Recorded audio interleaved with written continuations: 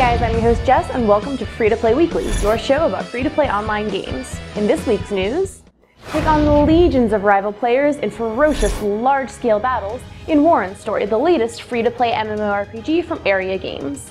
The company announced the beginning of closed beta testing for this fantasy filled adventure filled with PvP action. Waren Story features spectacular graphics and animation, which will make you think you're right there in the game, as well as four distinct classes and 10 engaging PvP modes. Because let's face it, beating your rival guilds once is just not enough.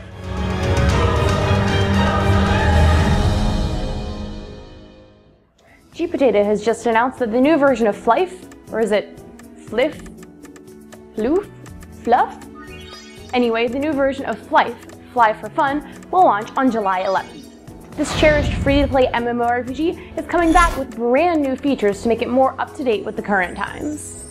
From the brand new weapon transformation and consignment marketplace, to the updated Guild Siege rewards and the in-game social client, tons of features in this game are getting a facelift. Take Fly for Fun's extensive character customization to the next level by transferring the best stats onto your weapon of choice. Or choose PvP over dungeon raids to win rare and top level gear in Guild Siege.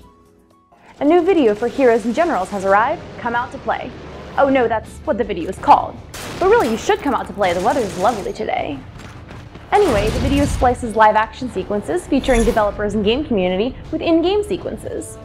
Heroes and Generals is a unique blend of MMO FPS and MMO RTS, developed by Reto-Moto, the creative minds that brought you Hitman. So maybe we'll see some Heroes and Generals garrote wiring each other.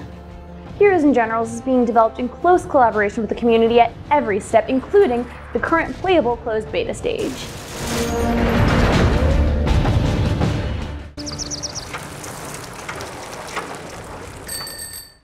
Wargaming has launched its latest update, 7.4, for World of Tanks.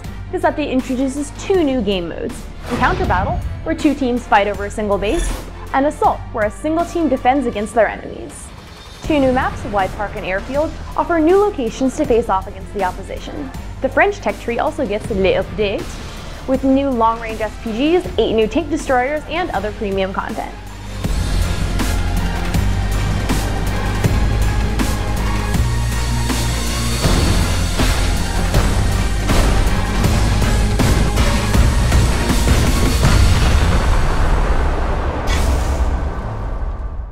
GameMania has announced the launch of open beta testing for its browser-based strategy game, Web Koihime Musou.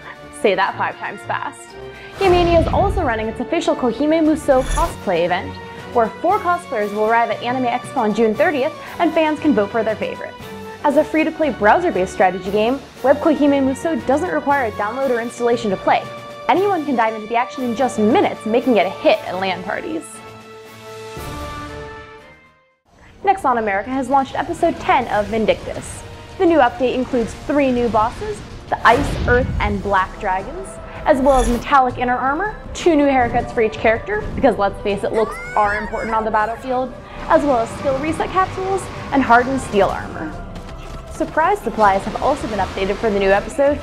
Oh my gosh, those supplies just came out of nowhere!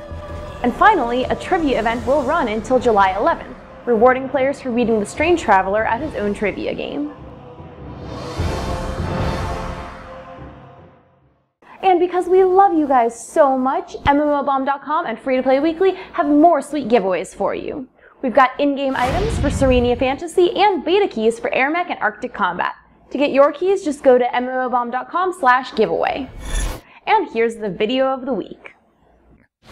That's what I took away from it as well. Okay, and the, the way they worded, like the attacker could literally take over the castle and oust everybody. Uh, so we read that the same way, Hera. Yeah, I totally did. I the way that I looked at it, it was, you know, Magic gets his guild. He's got his guild fortress. My guild comes along, spanks his little PvP bottom because we know how easy that is. Um, Did you just call my bottom easy? Well, I think he did. That's kind of yeah, well, you know, that's, that's that's not okay, man. That's that's not right, man. I don't know if we're gonna have you on anymore. and the game of the week is Drift City. Drift City is a distinctive free MMO driving game that's half role-playing game and half racing game.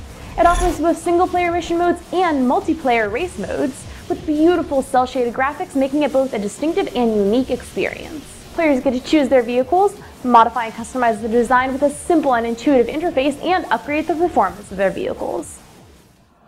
And that's all for this week, but thanks so much for watching. Don't forget to subscribe, like, and leave us a comment. We'll see you guys next week because otherwise we'd have to change the name of the show. Until then, you can check out MMOBomb.com for more free-to-play action.